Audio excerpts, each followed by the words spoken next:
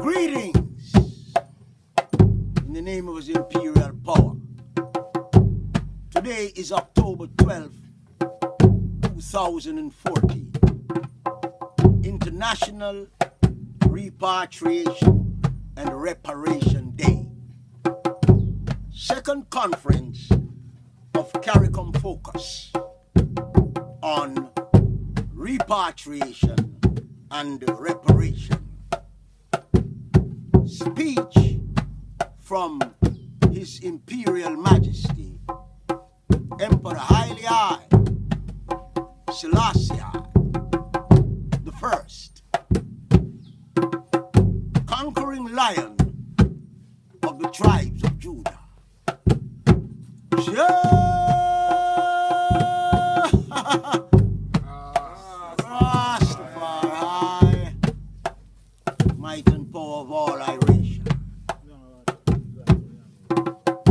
basis of racial discrimination and colonialism has been economic.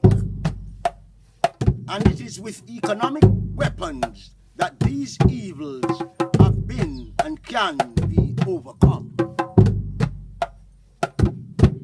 Racial discrimination, by the nature of its aftermath, like a sleeping volcano, is capable of erupting anytime.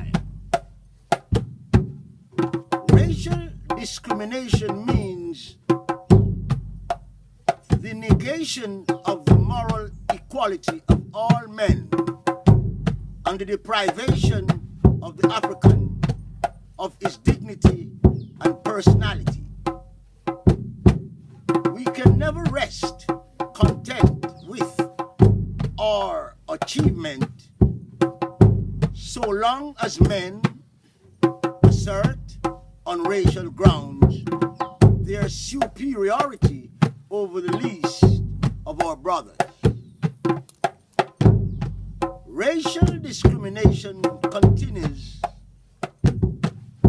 a negation of the spiritual and psychological equality which we have fought to achieve and the denial of the personality and dignity which we have struggled to establish for ourselves as Africans.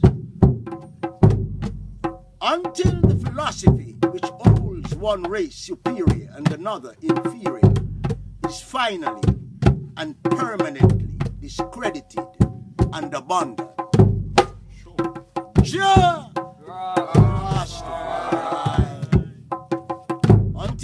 are no longer first class and second class citizens of any nation.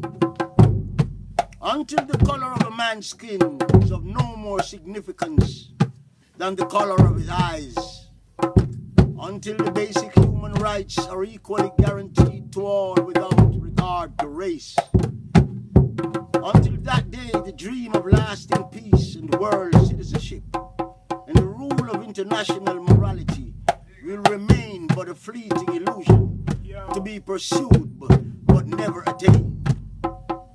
Until bigotry, prejudice, and malicious inhuman self-interest have been replaced by understanding and tolerance and goodwill until all Africans stand and speak as free beings, equal in the eyes of all men, as they are in the eyes of Zion. Until that day, the African continent will not know peace. We Africans will fight if we find it necessary. And we know that we shall win as we are confident in the victory. Good over evil. Glory be unto sound. Glory be unto power. Glory be unto the true and living creator. Emperor Haile I. Selassie.